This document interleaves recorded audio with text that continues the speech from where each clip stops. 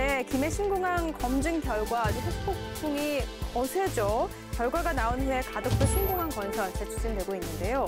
정말 정권에 따라서 또 바뀐다. 어, 이거 뭐 선거 때문에 결정 난 거죠. 대구, 경북에 있는 단체장들은 과연 어떻게 대응했는가? 그런데 느닷없이 이렇게 하는 게 과연 문재인 정부가 쥐뜬 나라도 나라입니까? 지역 정치권이 우리 어떻게 하면 살아남을 수 있는가에 대해서 진지한 고민하지 않으면 은 문재인 욕하다가 서울 간다.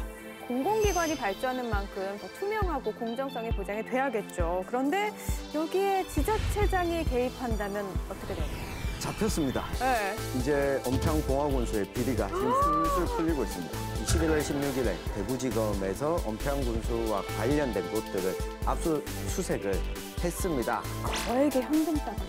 네, 건설업자가 나와서 이거 내가 줬다. 지금 봉화군수에 대한 이 비리 사태는요, 전 지방 정치의 실종입니다. 의혹에 대해서 해명을 하시려면 지금 하셔야 되는 타이밍이고 명예롭게 물러나는 것도 이 검토해 봐야 될 때가 아닌가.